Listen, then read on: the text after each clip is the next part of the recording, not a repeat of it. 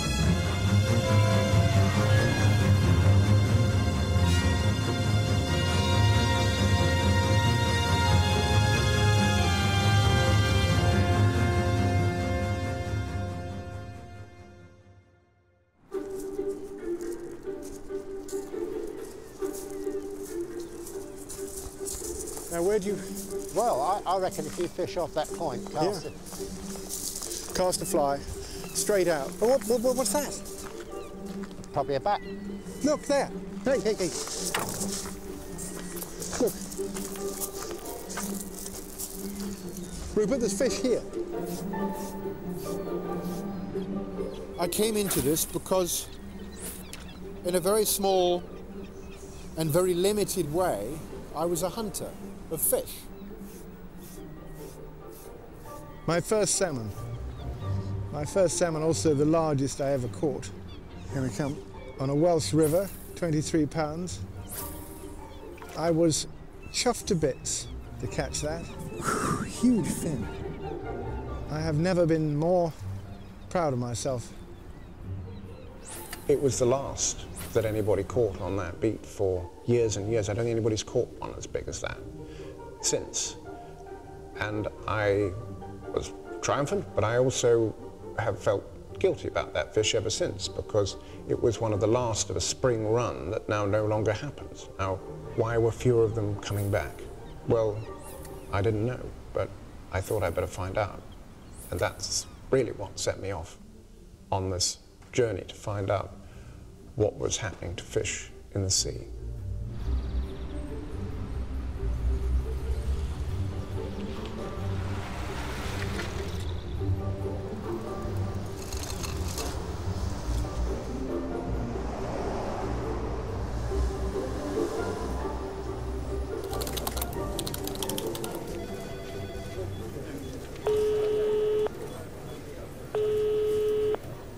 It's Clover, Charles Clover. I've got some queries. What is the tuna that you serve? Which ocean is it from and how is it caught? As a journalist, what changed my view of the sea is when I walked into the wrong press conference in The Hague in 1990. And this was the first presentation I'd ever seen about the effect of trawling upon the seabed and upon the creatures that lived on it.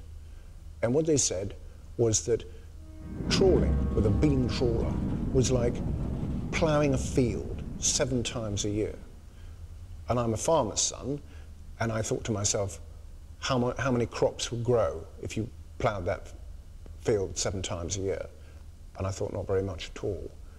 And that changed my whole view of what was going on the sea.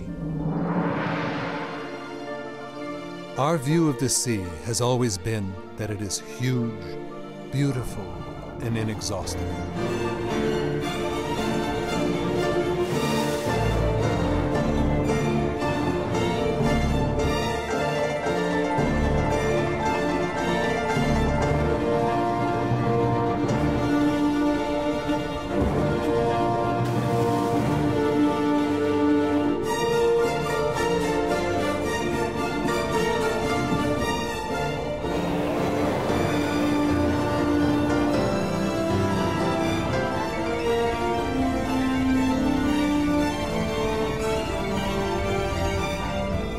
Oceans are the common heritage of all mankind.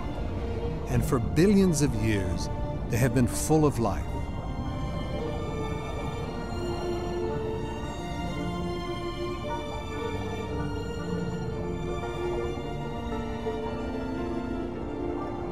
These huge resources, these that we once believed to be renewable, that our whole human history has led us up to now to believe that are renewable are not renewable anymore because of what we're doing to them. And so our, our entire philosophical approach has to change. It's not going to be the same in the future as it was in the past. That's where we are now.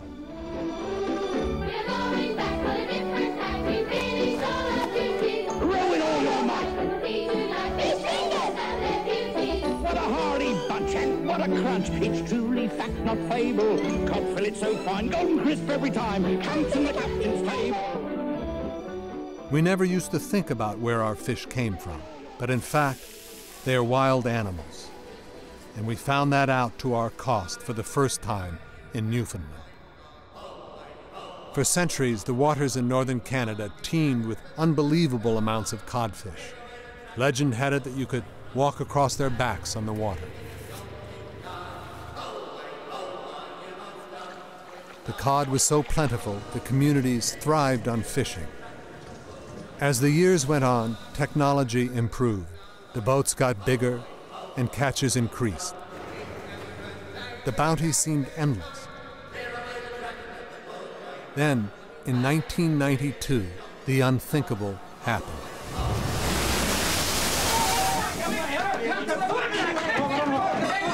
In St. John's tonight, angry fishermen vented their rage. They charged the room where John Crosbie was holding a news conference, but security would not let them in. What had once been the most abundant cod population in the world had been fished out of existence. I've decided that effective at midnight tonight, there will be a moratorium on harvesting of northern cod until the spring of 1994. Either we cooperate in addressing it, or there's going to be no fish for anybody. No fish for the Europeans, no fish for the Canadians, and an ecological catastrophe on our hands. With or without Joe. With or without Joe. And not only me, every fisherman in this island, we're going fishing. Overnight, 40,000 people lost their jobs. The cod is gone, and I think within the context of cod, particularly in the Canadian perspective, is that this is a species that has been fished for centuries and centuries. Cod was the reason that people migrated from the UK, from Europe, northern France in particular, to Canada. It was because of cod.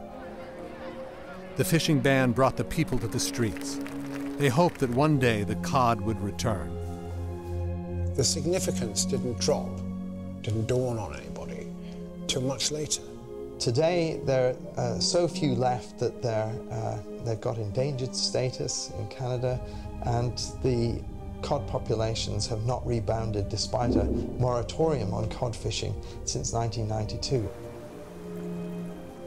In 2007, this research vessel set two lines, each with 1,500 hooks, to find out how many cod were left in the waters off eastern Canada. On the first line, they caught one small codfish. On the second, a small basketful. The cod stocks had been depleted to such a low level that they were unable to recover.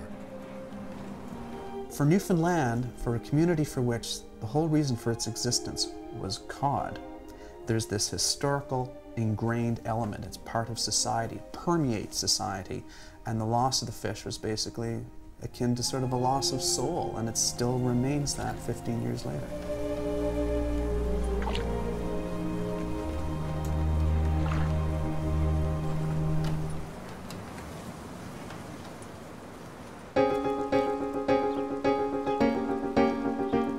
After the collapse of the cod, a new breed of fishery scientists started to investigate what had been happening to all the fish in every ocean of the world.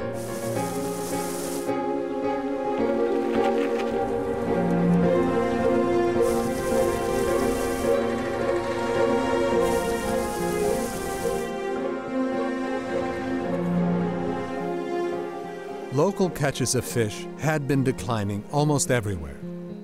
But what puzzled the scientists in 2001 was that the total world catch kept going up and up. It didn't make sense. The concerns that people had expressed that local stocks were going down everywhere, but that uh, global statistics were showing an increase, that this was a discrepancy. Daniel Pauly, a leading expert in global fishing, was asked by the United Nations Food and Agricultural Organization to investigate this mystery. Daniel Pauly had the brilliance to start examining why, in the face of the evidence that you saw in front of you locally, and in the face of, of, of evidence like Newfoundland, that the figures kept going up. It was when Pauly and his colleagues looked at the reported catches from China that they found their answer. For every part of the world, the reporting was right, except for Chinese waters. When uh, Daniel Pauly came to this department and he said, I think they're wrong. I said, what do you mean they're wrong? He said, well, it can't be that China's catching that much.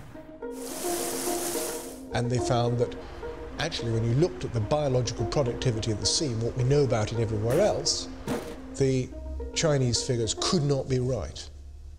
They were just made up.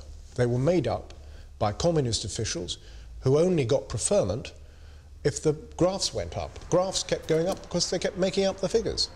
And it was a huge seismic moment. We concluded that they were so biased upward, so much, that uh, if you corrected for this effect, the world catch would not be increasing, but decreasing.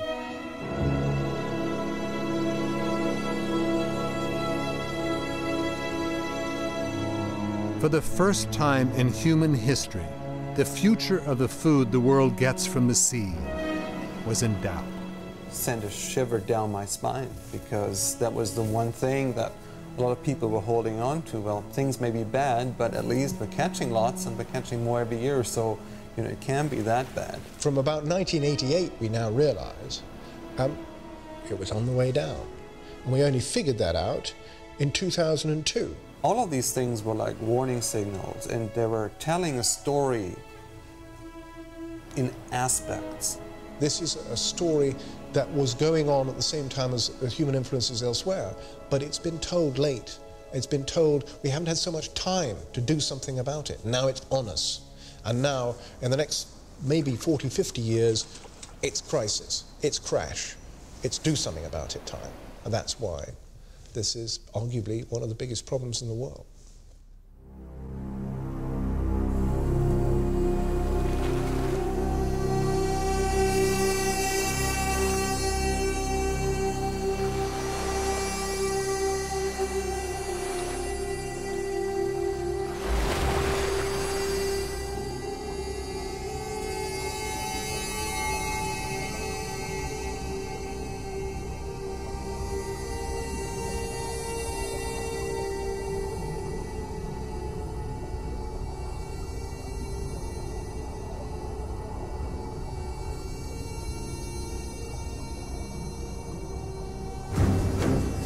Has been hunting fish in the sea since he discovered they were there.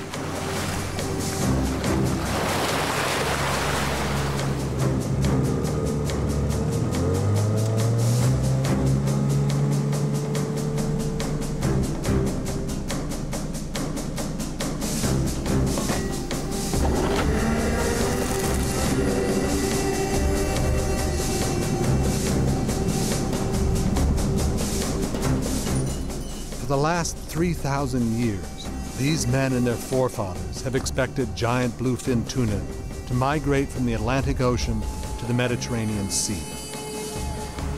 And every spring, the fishermen set their trap, an ancient method of fishing known as the almadraba.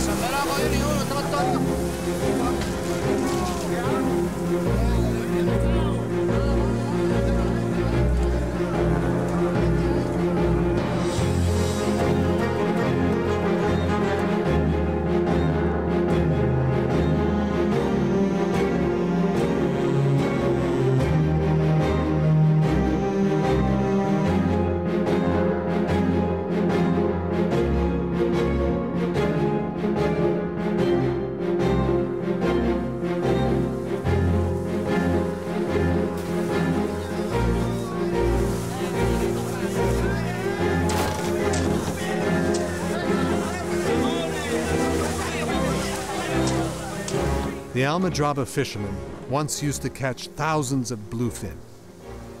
But over the last 10 years, their catches have declined by 80%. Y pues alegría. Todo el mundo grita, ¡Viva la! Es eh, euforia, ¿no?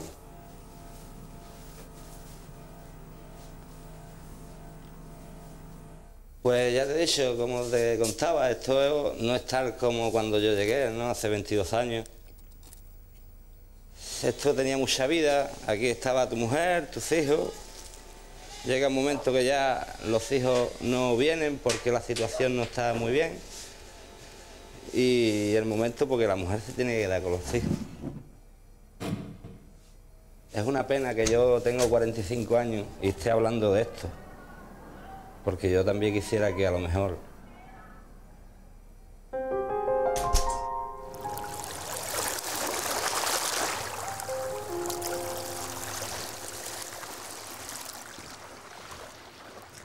On the other side of the world, in Canada, scientist Boris Worm had been trying to work out how many tuna and other large fish were left in the sea. Somebody said counting fish is just as easy as counting trees, just that they're invisible and they move. So it's, a, it's an almost impossible thing to do, especially when you want to assess how the global ocean has changed, the whole thing. We asked that very simple question, where are we now relative to a baseline that we set around 1950, because large-scale industrialized fishing started around 1950. So here in 1952, when this series starts, we see that around Japan, there's already blue colors dominating, meaning that the catch rates were low, around one fish per 100 hooks. In areas that were newly exploited, we see catch rates about 10 times higher, um, 10 or more fish per 100 hooks. Worm used Japanese fishing fleet data that had recorded how many fish were caught on every 100 hooks they set. This is the first time uh, industrial longline fisheries went out into the open ocean and just worked through the whole ecosystem.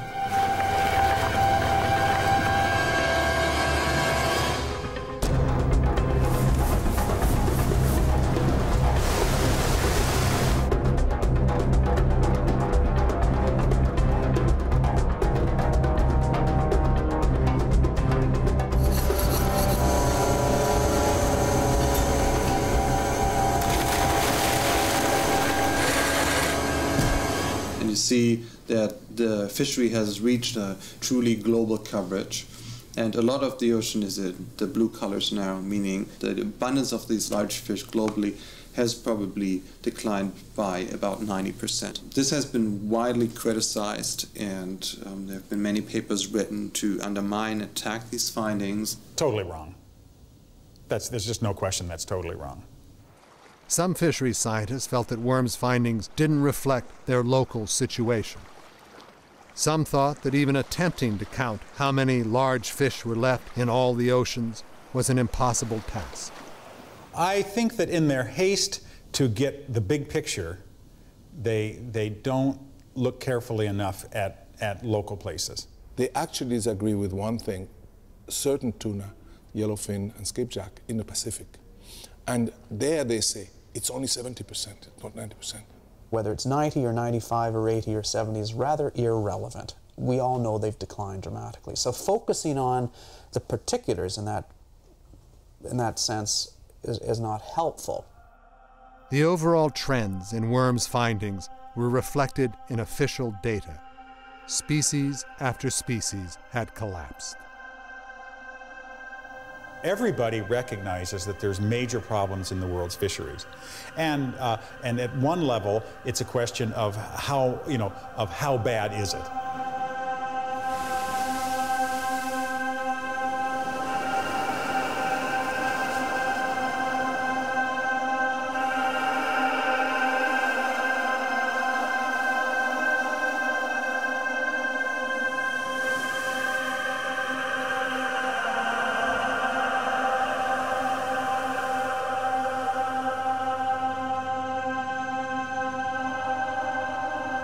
Today, in every ocean of the world, high tech industrial vessels are hunting down every known edible species of fish.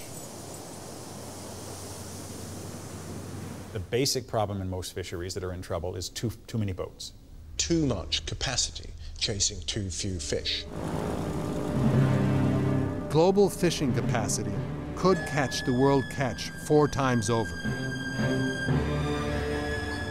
The world's long lining industry sets 1.4 billion hooks every year. These are estimated to be set on enough line to encircle the globe more than 550 times. The mouth of the largest trawling net in the world is big enough to accommodate 13 747s. We are fighting a war against fish, right? And we are throwing at them our industry, and we are winning. And that's how we perceive our interaction with them. It's a fight. The thing is, we're too good right now. Technologically, not a single hunted animal on this earth has a chance.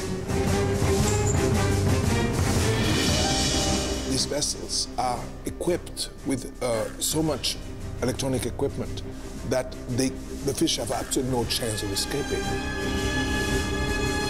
The skipper knows exactly where he is in relationship to a rock where fish could hide, in relationship to a wreck where fish will be attracted to.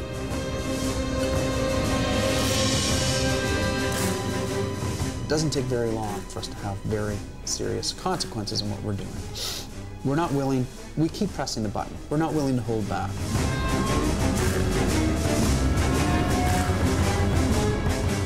Might of the fishing armory has grown exponentially in the last 50 years. The amount of fishing power that we have at our command today far outweighs uh, our ability to control ourselves.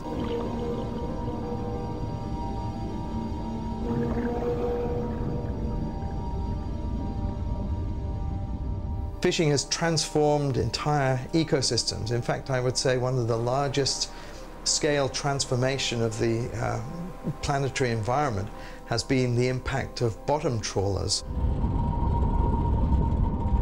Nets that are dragged across the seabed, and as they are pulled, they, they cut down the animals that live on the surface, things like corals and sea fans and sponges. The signs of destruction brought up on deck by the trawl would make an angel weep.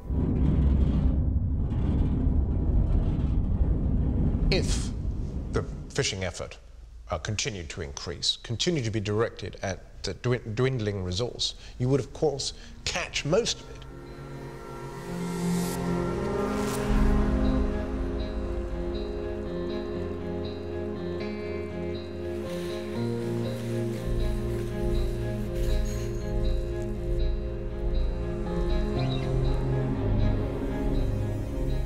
The bluefin is one of the most iconic fish in the sea. Its beautiful hydrodynamic shape and specially heated blood allow it to accelerate faster than a supercar. Pound for pound, its delicious flesh is the most expensive and sought after on the planet. The bluefin once sustained Roman legions in battle. Now it feeds fashion conscious diners and sushi restaurants around the world.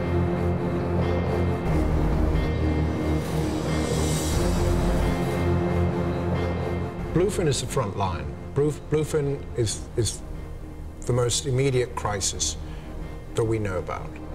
For many years, scientists have been predicting that the king of the tuna would be hunted to extinction. But now, it is actually happening.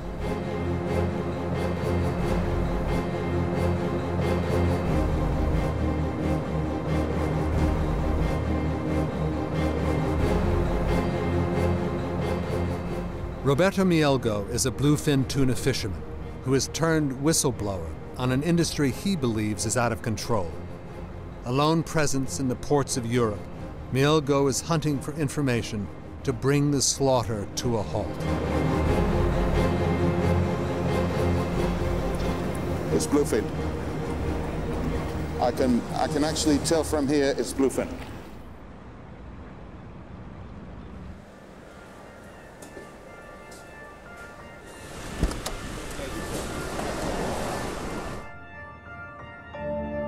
I started in this business as a, as a tuna farm diver. That was many years ago.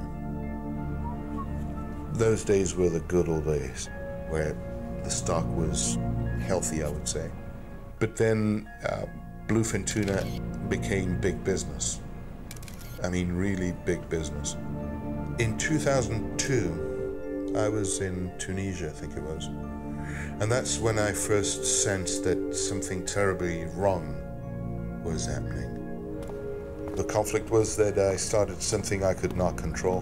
And as from there, I took the decision to try and do the right thing.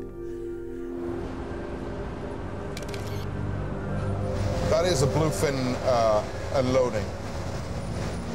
Let's say, let's say there's only two containers, and they jam pack those two reefer containers, 40 feet reefer containers, with 28 tons each.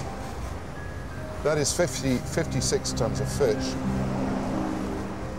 which is more than what Taiwan would normally declare as catches at the end of the fishing season. So there you go. I mean, one boat. Just one boat. Uh, what's at stake here is of an infamous minority of people making millions and millions and millions by decimating uh, a species. Is that right? Is that moral?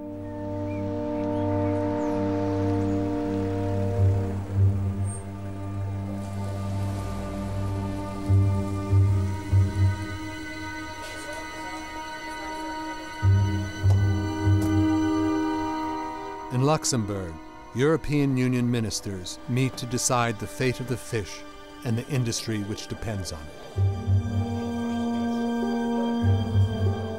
Fishing is supposed to be controlled through internationally agreed quotas, the amount fishermen are allowed to catch. These are recommended by scientists.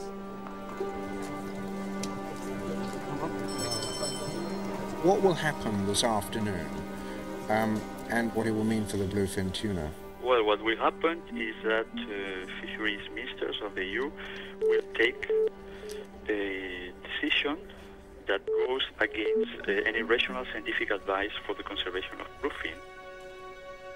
Bluefin scientists are recommending a catch of 15,000 tons simply to avoid collapse. In order to rebuild the fish population, the catch needs to be less, at 10,000 tons. But ministers vote for a catch of 29,500 tons, twice what it should be to keep the population from crashing, and three times what it should be to let the fish recover. I just can't accept that. This is a political quota. It's, it's, it's negotiating with biology, and you just can't do that and expect to see the biology survive. This is a species which is, is endangered as the white rhinoceros, and yet it's being hunted to extinction in the Mediterranean. Uh, it's being exploited at more than twice the level as it should be, uh, and those countries that have overfished it are not being forced to pay back what they've overfished. So, not a day in which the European Union has covered itself in glory. Bluefin tuna is not the only fish whose stocks have declined dramatically, and most of the others have declined while under the supervision of the scientists and politicians in the richest nations of the world. If fishery managers were engineers, they would have been fired long ago because uh, you know we'd be having collapsing buildings and bridges all over the place because the calculations are so far out. And so it's not a question of if uh, fish stocks will collapse uh, when you make decisions like that. It's a question simply of when. Collapse is inevitable.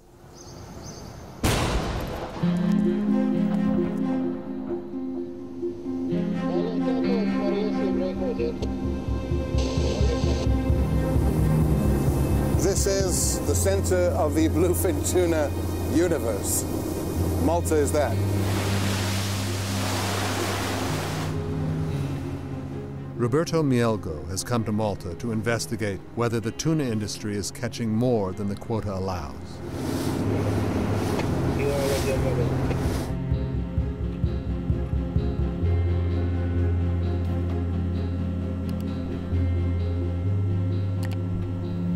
Hello, Charles. How are you doing? How are you getting on? Oh, well, busy. Have you found a lot? Uh, quite a lot, yes. Despite the scientists recommending an annual catch of 15,000 tons and the politicians setting 30,000 tons, official figures show that the Mediterranean bluefin tuna industry simply ignores the regulations and catches 61,000 tons, a third of the entire bluefin tuna population. Mielgo discovers that some fishermen will stop at nothing to get hold of this sought after commodity. I flew to Lampedusa the other day, and um, just by chance I came across um, some interesting documents. Is there anything to, um, to link them to, um, uh, uh, to fishing activity? So they can catch as many fish as possible. The fleets use planes to spot the tuna shoals, an activity that has been outlawed during this part of the season for the last 10 years.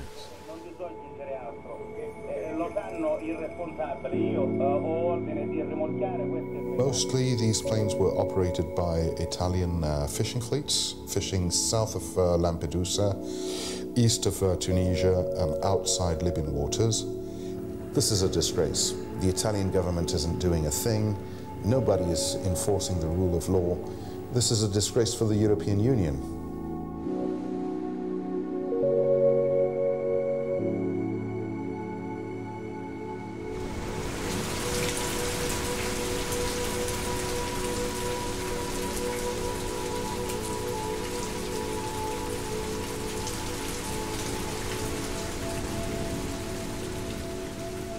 Breaking of the rules by fishermen is one of the biggest problems facing the world's oceans. Illegal, unregulated, and unreported fishing is worth up to $25 billion a year. Fishermen cheat because they can. Fishermen cheat because they don't get caught. That's true of all systems. A study for the House of Lords in the United Kingdom reported that 50% of the cod caught in the North Sea was illegal. Every other fish on your plate was stolen. Stolen from you.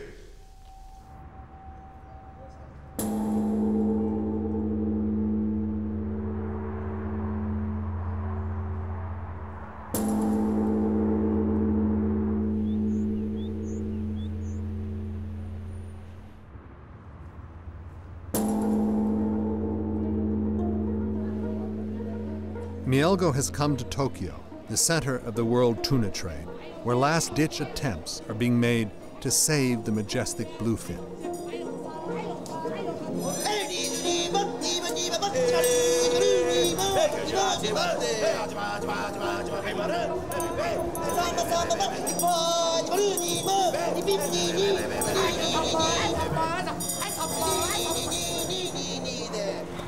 The biggest company in the tuna business is the multinational Mitsubishi, makers of cars and electrical products. They don't actually catch the fish, they just buy it. I would think that Mitsubishi uh, Corporation itself would be in control of something like 60% of uh, all of the entire bluefin tuna production, uh, northern bluefin tuna production in the Atlantic and the Mediterranean. Mielgo is here to attend a meeting of the International Committee for the Conservation of Atlantic Tuna, ICCAT, which has been called in a desperate attempt to persuade the industry to stick to internationally agreed quotas. Roberto speaking here in Tokyo. How are you getting on? Well, it's been a humbling experience, Charles. Mielgo had discovered that Mitsubishi were sending out new, larger boats to bring back bluefin. They have pumped up their freezing and transportation capacity. Mitsubishi claimed to control less than 40% of the bluefin import market and say the new boats were sent to replace old vessels. But Mielgo believes that Mitsubishi and other traders are building up frozen reserves which will be worth much more if fish stocks are depleted. If there's no more bluefin tuna caught, but you're sitting on 60, 70,000 tons of it frozen, you name the price. Mitsubishi say they try to provide the Japanese market with stable supplies at reasonable prices, while supporting policies to ensure long-term sustainability of the stock. But Mielgo fears that the result will still be the extinction of the species. The immediate conclusion one has to come up to is that these guys want to fish until the very last bluefin tuna. Once they have caught the very last bluefin tuna, they will go on to big eye tuna. And once they have overfished bluefin, uh, big eye tuna, they will go for another tuna species. Mitsubishi insists they want to preserve the tuna for future generations, and they support cuts in the bluefin quota. The fate of bluefin shows what multinational corporations, international fisheries policy, and consumer demand can do to a wild species. But the race to catch the last fish, whatever its price, is happening all over the world.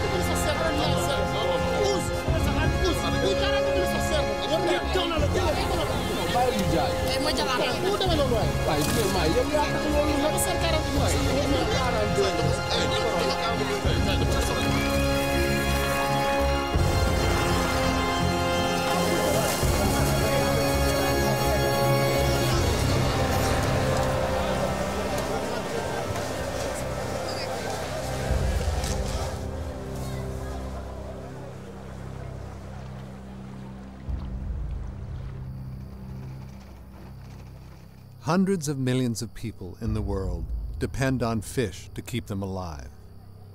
For 1.2 billion people, it is a key part of their diet. In West Africa, which used to have one of the richest seas on the planet, the stocks of fish have declined massively in the last 50 years.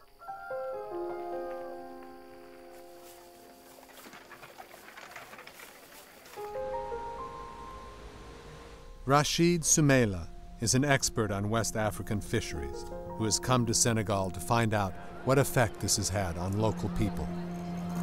Fish is crucial in, in West Africa. I mean, the coastal people depend on fish, and even the interior people come down when the, when the farms disappoint them, when there's drought, deserts, and so on.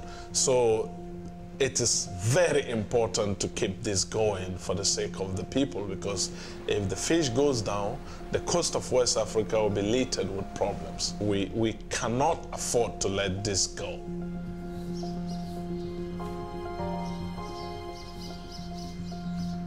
Adama Mbergel is an artisanal fisherman who lives in Dakar, the capital of Senegal. Fishing is his livelihood.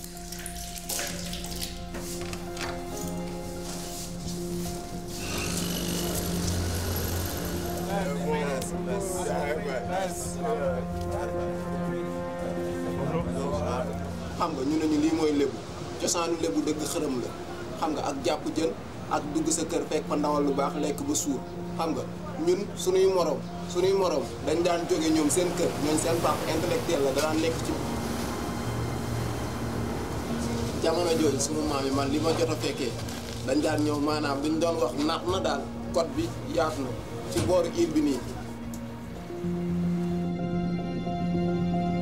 Ba sunu maam yi daan ñëw jàpp bari ñun ñu suñu ñun loolu ñu ñu yaakaar ni ñun bu ñu juddoo ba da nga gis koo xamante ni sax papam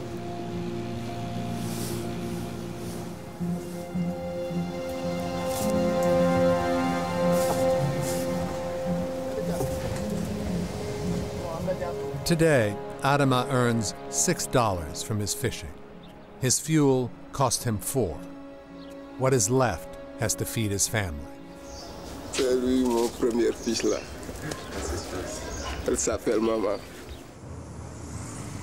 Meanwhile, on the same shoreline, money is being made.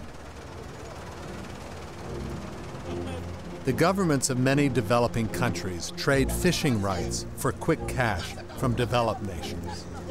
Taxpayers from the Western world pay for the largest fishing boats on the planet, super trawlers, to fish the distant waters. The locals and their pirogues don't stand a chance. That's no good for the fishermen.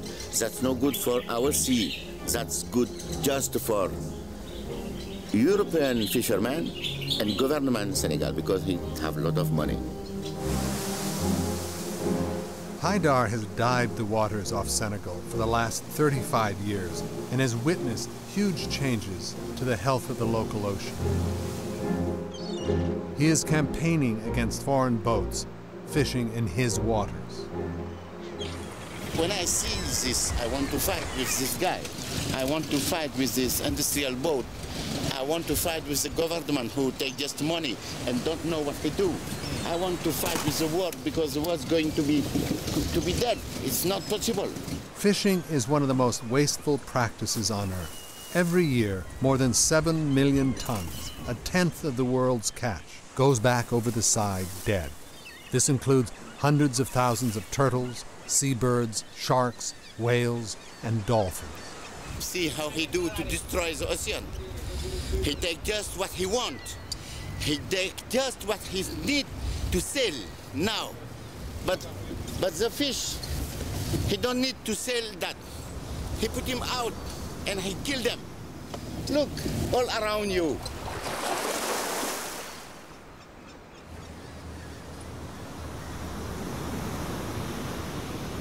As the fish have been taken by foreign fleets, fishermen like Adama have been left with an impossible decision. Should he leave his family and risk the dangerous journey to Europe? dafa metti trop trop trop parce que man du ma nëbb sama bopp quoi voyage bi ba ma ba ma ko bëggee def nii nii nii lu ma yëg sama yaram mooy que sama yaram lu ma ci njëkk yëg mooy que wóor na wóorul wóor na wóorul laa njëkk def sama yaram. Xam nga parce que moom instant yi man gëm naa ne maa ngi dem ci géej gi mais wóorul mais aw ma lu ma gënal. Toujours man sama boor daf fi gën a metti. Xam nga ñii bu ñu màggee bu ñu fekkul man aw ma dara lan laay def?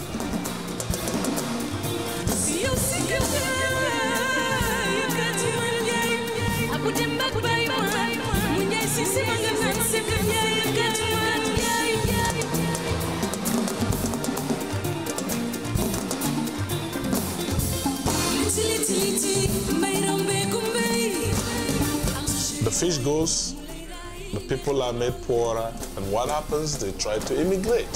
The Europeans like our fish, but they don't like the people. The fish has visa to come in, but the people are turned back.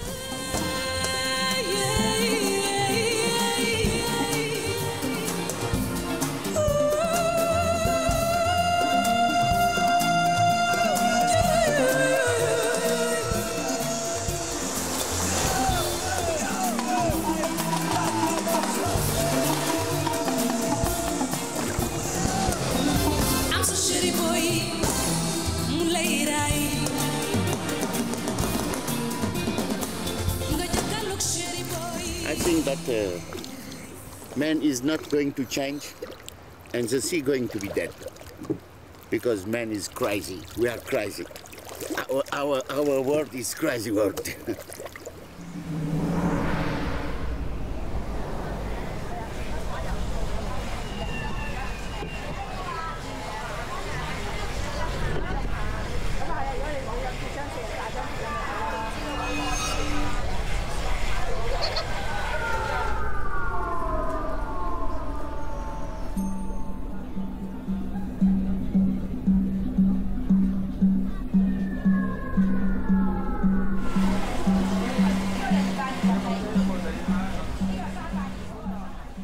restaurants of Asia, diners are buying live fish in greater quantities than ever before. These are being taken from the most beautiful parts of the planet, the Coral Triangle. The Coral Triangle is an area of ocean half the size of the United States in the seas of southern Asia.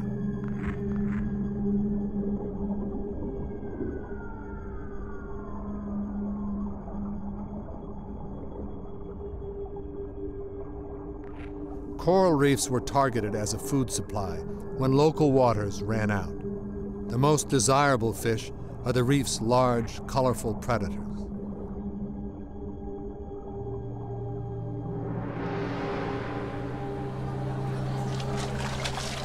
Our insatiable appetite for such delicacies threatens to tip the fragile balance of nature into chaos. We don't know what the implications are of losing some of these very, um, one particular component of the ecosystem. We just know that in other ecosystems there have been problems, and that when we mess around with nature, there's usually problems. On the east coast of America, there is a terrifying clue of what can happen when you disturb the ocean's natural equilibrium. We've got a big surprise for you. We've got a Chesapeake ray.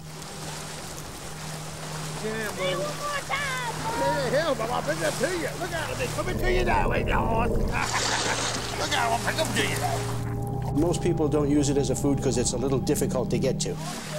In Chesapeake Bay, there have been increasing reports of a plague of biblical proportions. A little known inhabitant of the bay, the cow-nosed ray, has exploded in numbers.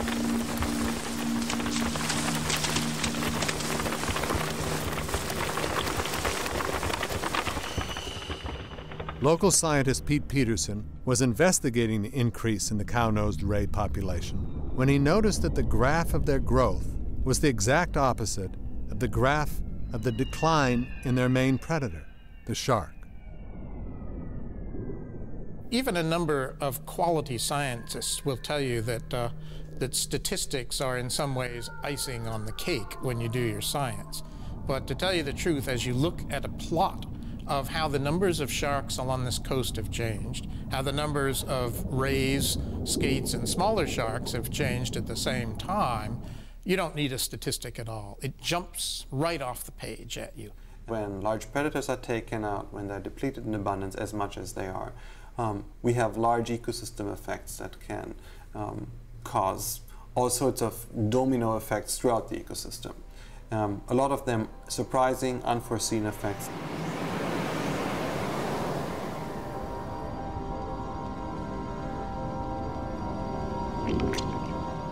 There's evidence of this knock on effect happening all over the world. In Newfoundland, lobster numbers are exploding. The loss of cod and other bottom dwelling fishes, what we have seen is an increase in the abundance of other things. Um, so in this part of the Atlantic, there's always been a fair number of lobster, but there's now evidently quite a bit more. So it seems fairly reasonable to conclude that the decline of cod and other predatory fishes has um, basically paved the way for an increase in the abundance of those things that cod used to eat. Fishermen have eagerly fed off the bonanza. There is big money to be made in lobster, but how long will it last? This is the situation that happens uh, everywhere we have removed the fish, the large fish. Uh, in many places, what has exploded is the shrimp. Shrimp have exploded. It's good shrimp, good money, but if you fish them, what then? The end point is when the prawns and the scallops too have gone. We, we, we really will be down to a highly simplified ecosystem of mud and worms. Jellyfish infestations are increasing. Beaches are becoming no-go zones. Our oceans, once full of large fish, are now filling up with algae, plankton, and worms. Plankton sticks pressed into fish-shaped pieces, perhaps, uh, jellyfish burgers. Uh, the, the options are endless.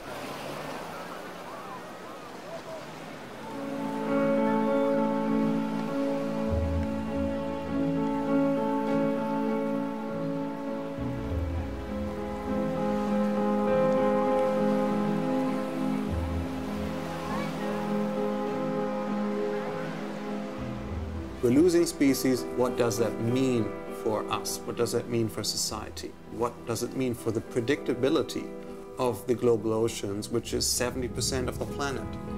And the answer is with every species that disappears, some of those services are eroding. There's less food, there's declining water quality, and there's declining stability of the system. What alarmed me the most was that the ability of the system to absorb shocks and disasters, to deal with climate change, to deal with overfishing was diminishing.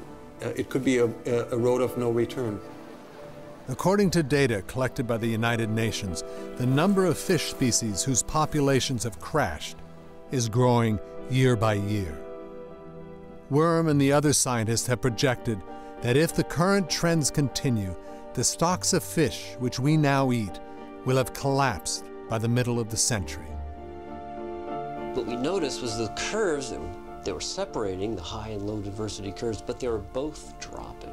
All the fish and invertebrates that we eat, that supply us with seafood, um, we found that by 2003, about one third of them were in what we call collapse state. Over the last 50 years, there was a very, very clear trend of year after year after year more of these species were in that collapse category. They started very high, they kept dropping and dropping and dropping and dropping. And if you take those curves and you say, well, they're dropping, when are they going to hit zero? When are they going to drop down to the point where the fisheries that we're used to are no longer going to be possible? Uh, and those curves drop down and they hit zero about 2048. This is not some horror scenario. It's a real possibility and it's not rocket science because if we're depleting one species after another, it's a finite resource. There will be a point in the future where we will run out if we don't change the way we treat this global resource. Worm and the others were criticized by their opponents for naming a precise date. But this was not the point they were making.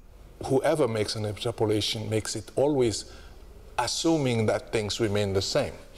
And I would say that assuming that things remain the same, this prediction that we will have no fish in, uh, in 50 years or so are essentially correct. When the human population comes under real pressure on land, when we begin to have real problems from global warming, when we start running out of uh, enough food to feed ourselves, um, we have just squandered one of the greatest resources that we've ever had on the planet wild fish. That's what it means.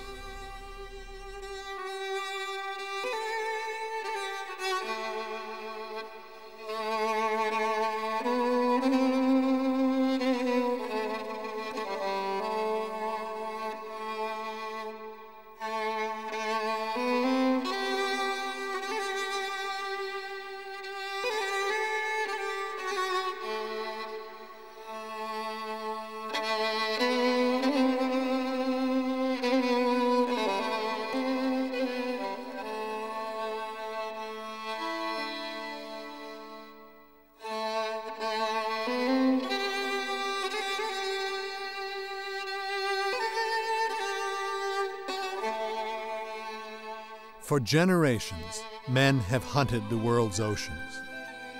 For generations, we have eaten fish. What can our generation do to stop us reaching the end of the line?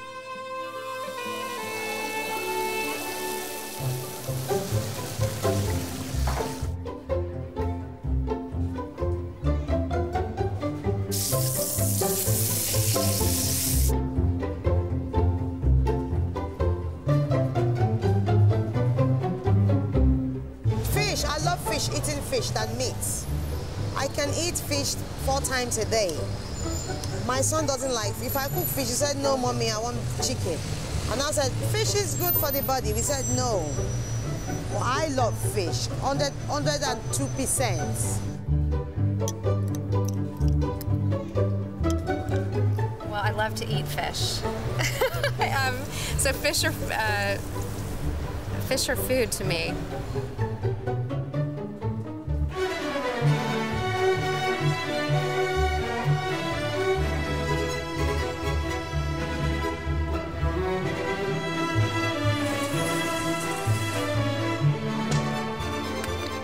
Lots of the time people say, where are the, all the fish? 90% of the fish gone.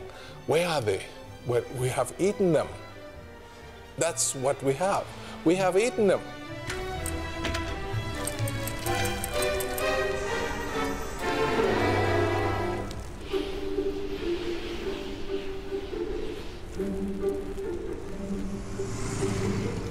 When we look at a piece of fish on our plate, what do we know about that fish? We know it's good for us. We know it's probably got some omega-3 fatty acids, which are good for all our organ functions. But what else do we know about it? What do we know about it? Do we know what species it is even? Do we know whether it was caught legally or illegally, or in the waters of some distant country where the inhabitants would actually prefer to have caught it themselves? Hello, Ingrid. Uh, it's Charles Clover from the Daily Telegraph. I noticed that marlin was on the menu. This is a kind of an unusual fish to find on the menu. And I wondered um, which species of marlin this was, because I thought there was an awful lot of marlin left. Both these fish, the bluefin tuna and the uh, Chilean sea bass, are listed as endangered species. Um, I wanted to talk to someone who would know about uh, the sourcing policy for fish at Nobu restaurants. Can we send them an email? No, we can't. British journalist Charles Clover has been trying to find out what is sold in some of the most exclusive restaurants of the world. After five years of no comment, eventually Nobu agreed to talk. Hello. Hello, Mr. Clover. How are you? Hello, Mr. Notar. How are you? I feel like I know you.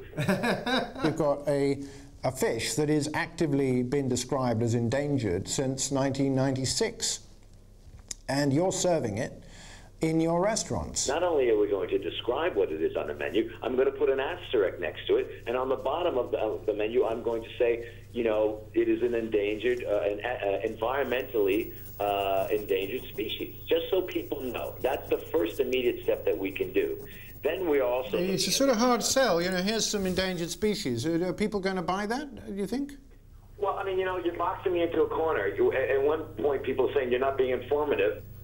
At some point, people have to make decisions on their own. If you look at a pack of cigarettes, it has warning signs saying this will kill you. The, the, the question people will want to know is why you just don't take it off the menu now. If you've got orangutans and you know cheetahs and lions and tigers and things on that menu, I mean people would you know be, be walking away. There'll be a huge scandals. There'll be tabloid stories about it. People would be execrated. People there would be turds on people's doorsteps and in envelopes being shoved through them. People would you know burn each other's houses down, scratch their cars, and yet we're doing it to things in the sea, and we're doing the same thing. This dish is modern, cool, uh, refreshing, looks really, really like flashy, um, but it's dead, dead simple. So I've got some beautiful bluefin tuna. Now that these kind of popular television programs with celebrity chefs have made fish fashionable, is it too late to save the world's oceans? People ask me all the time, are you despairing or are you hopeful? And I say, I'm absolutely hopeful. And they ask, what makes you think that? And I say, well, two things. One is uh, now we have a much better understanding than even five years ago of what's going on. And there's a track record of when we uh, understood changes and they became uh, public knowledge, they entered people's consciousness. Um, like with pollution, like with ozone depletion, with climate change more recently, um, things started to happen and people made changes. I think that there's a, a, message of hope because there's still time for us to turn the course of history. And uh, uh, although the, the uh, players have taken poison, there's still time to save them.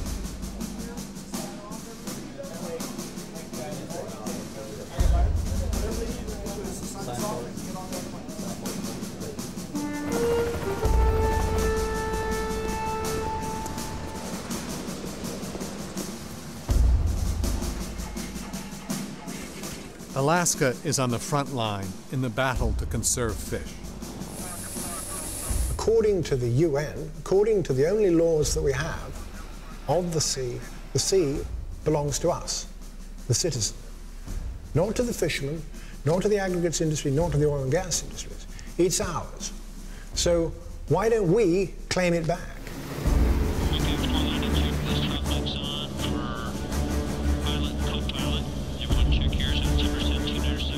Alaska has a 200 mile fishing limit, which it strictly enforces. Portlock Bank, uh, coordinates are going to be 56. It appears that they've been fishing in one area and they're claiming another. One of the lessons from Alaska is first you have to not allow new boats to enter and you have to find mechanisms to get some boats to leave to, to match your fleet size to the capacity of the resource. Alaska's fishing policy is not perfect, but the number of fishing boats here is carefully controlled, and managers can monitor how much is being caught and react accordingly. Fishing policy here is determined by the science. Catch limits are set well below the level that fish populations can withstand. One of the differences between Alaska and, let's say, the North Sea, or is that the average exploitation rate on stocks in Alaska is on the order of 10% a year.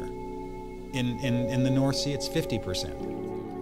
One way in which Alaska controls the catch is by giving the fishermen a limited amount of time to fulfill their quota.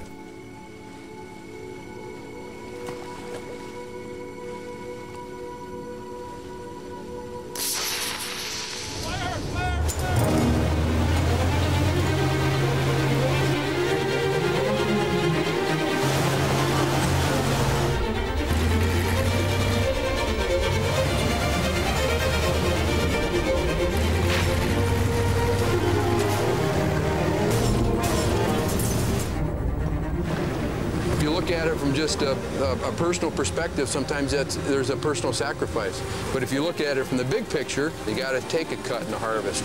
But you take that knowing that it gives you an opportunity to, to maybe have a better season two, three, four, five years from now. We just don't want to catch that fish this year or next year. We want to catch it 10, 15, 20 years from now.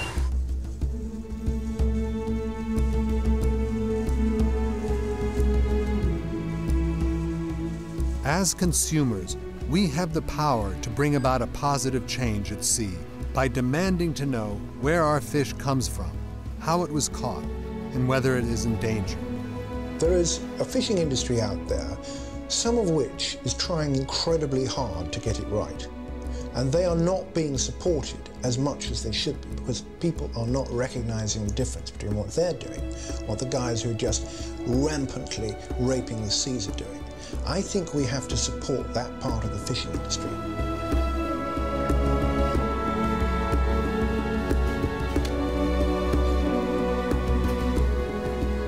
For consumers, there are guides to identifying which fish is better to eat.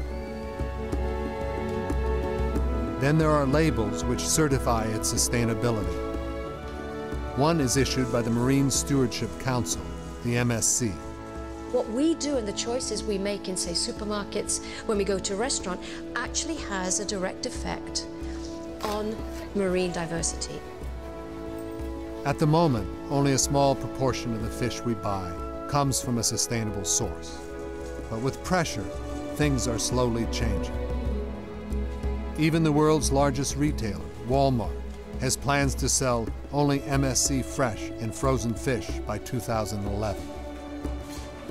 We sell approximately 20 million pounds of fresh fish a year. We had to do something that would protect us as we grow and as we need more and more product into the future. And that's where the, the MSC really shone out to us as a, a, a leading way that we can really embrace and grow our business. Birds Eye, once the king of the codfish finger, now buys over two thirds of their fish from sustainable sources. And fast food outlet McDonald's say that over 90% of their fish comes from a sustainable source. Knowledge is power, and what knowledge gives you is the opportunity to change the way that you do things, to change the way you behave. More and more fish are now being farmed.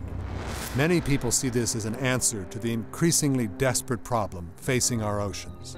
But fish farming is not all that it seems.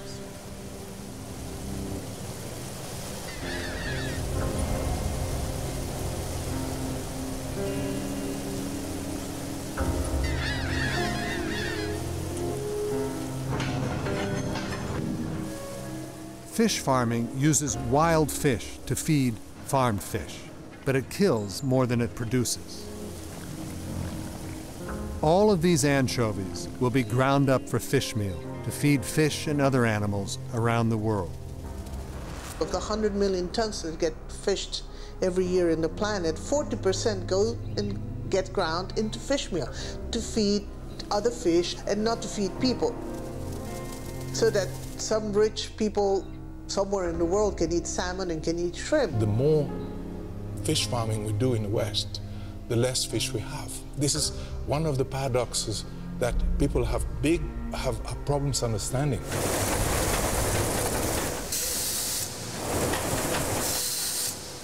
Aquaculture for species that eat fish doesn't have that much room to grow because there just aren't that many fish out there in the ocean to feed them anymore. You actually convert fish from one species into the other. You don't make more fish, at least not when you have farm fish. On average, five kilos of anchovy make only one kilo of salmon. We've reached the buffers. We have reached the limits of what the ocean is capable of providing to feed the fish farming industry. So how can it grow if it's already reached the end of its feedstock? Patricia has started a campaign to encourage people all over the world to eat small fish like anchovy, herring, and mackerel instead of the farmed fish that are fed on them. Why not eat the fish directly? Why not eat the anchovies? They're much better for you than salmon, anyways. It's this tiny little fish that has all the energy that you need to, to, to, to be healthy.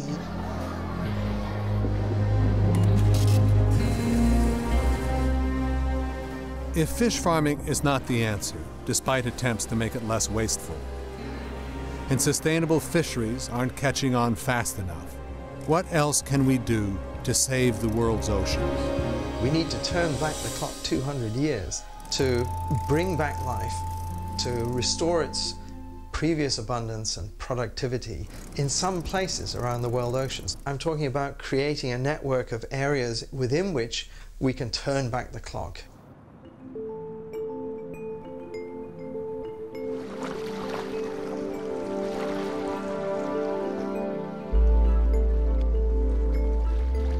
It's a nice country. You know what I mean? It can't be no beautiful than this. Outside to die and go to heaven.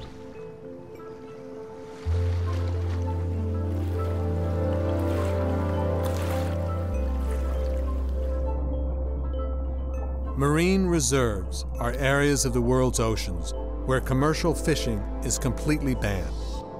The results can be staggering. Wherever people have established an area that's off limits to fishing and uh, policed it well, they've been resolute in their pursuit of protection. Reserves have shown marvelous benefits.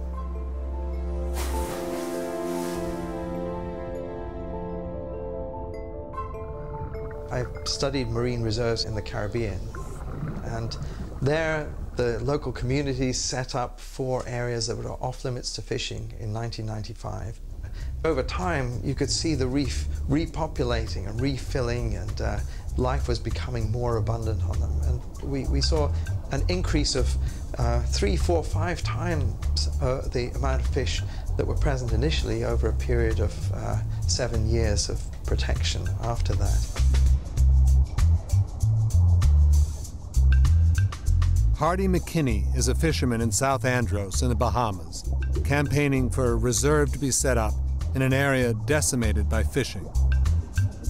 Have this area set aside as a, a protected area. No one is permitted to go here to fish, and you allow the fish to do what they, what they do. It's just a natural thing. You would have more fish. So you would go to a rock where there's one Nassau grouper, and next year you may see two. And then the following year, you may see four. And so, you know, it, it, naturally it would work. Marine reserves are absolutely necessary. But they are necessary, and we must have lots of them. The best available calculation on uh, how much it will cost to have a global network of marine protected areas that would cover between 20 and 30 percent of the area of the world oceans is that it would, it would take about 12 to 14 billion dollars a year uh, to manage a network of that scale. Compared to fisheries subsidies, the, the amount is roughly equivalent. Um, the uh, subsidies are estimated to be of the order of about 15 to 30 billion dollars a year, uh, and those subsidies encourage overfishing. What this 12 to 14 billion dollar cost of managing protected areas would do would be to contribute to the solution to overfishing, and in the process would create about a million jobs worldwide. The world has signed up to establishing a network of marine protected areas by 2012. Some nations have promised to protect 20% or more of their seas in the future. But we have to put pressure on governments to ensure this happens. We have about 4,000 marine reserves of different sizes in the world. They cover one less than 1% of the world ocean, 0.6%. 0.6. 99.4% of the ocean is fishable. You're allowed to fish in 99% of the ocean. Now, that doesn't seem to me to be a proper representation of our interests as citizens. Marine reserves on their own will not solve the problem of the emptying seas. Fishermen and migratory fish will move to unprotected areas, so these also have to be controlled. Politicians have to act responsibly when making decisions about the oceans. Consumers need to change their eating habits. And the global fishing industry has to abide by the rules and reduce its capacity. The problem is getting political will to implement these things, and uh, people will always argue, well, you can't do this because uh, it would affect too many people's livelihoods. Well, in, in the end, those livelihoods are disappearing year by year with inaction. I want them to manage the sea for recovery. I want, the, I want it to be full of fish. I want it to be full of cod and skate and haddock and halibut and, you know, shellfish and everything. Does society want to see that recovery take place? Or is it society happy with massive depletions? I don't think my six-year-old daughter is going to be particularly happy in 10 years' time when she reads about this stuff and learns about it and says, God, all this happened in your lifetimes. In your lifetime, my lifetime. Anyone who's 30, 40, 50, 60 years old, this has happened on our watch, and we have a collective responsibility. The difference between this and other environmental problems is that actually it is relatively simple to solve. We can act now. It's not rocket science. We don't need more knowledge to do so. So let's do what we can where we can. You can do it here. You can do it now. You just do it.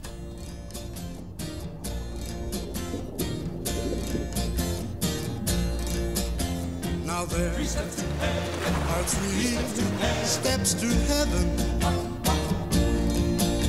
Just listen, and you will plainly see. And as life travels on, and things do go wrong, just follow steps one, two, and three. Step one you find a girl you love. Step two, she falls in love with you. Step three, you kiss and hold her tightly. Yeah, that sure seems like heaven to